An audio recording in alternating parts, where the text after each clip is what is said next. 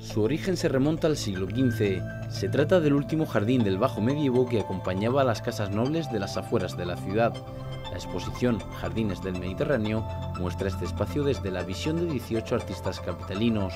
Artistas de diversos estilos, diversas edades, de diversas escuelas han plasmado en sus obras de arte pues, su visión sobre este jardín, creando una imagen realmente apabullante, puesto que eh, cada uno lo ha visto de una manera, con una creatividad, con una imaginación, con unas técnicas, unos colores, con unas texturas que realmente abruman ante la inmensidad pues, del talento que tienen todos estos artistas. Una muestra que se ha inaugurado hoy, donde cada artista ha podido explicar su obra.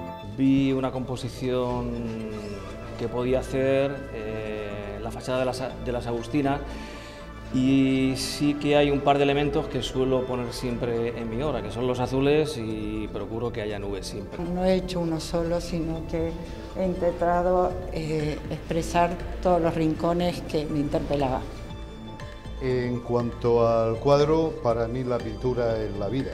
El jardín, como ha dicho nuestro alcalde, también es la vida. Dice que ahora la llevo viendo yo y observando desde que era así de pequeño. Hace tiempo pintaba plantas y tal, entonces he ido viendo cómo evoluciona. Porque las plantas cambian, pueden cambiar en una época, pero el agua es la que da la vida a ese lugar. Así que yo los dos trabajos que finalmente se han presentado son alrededor del agua.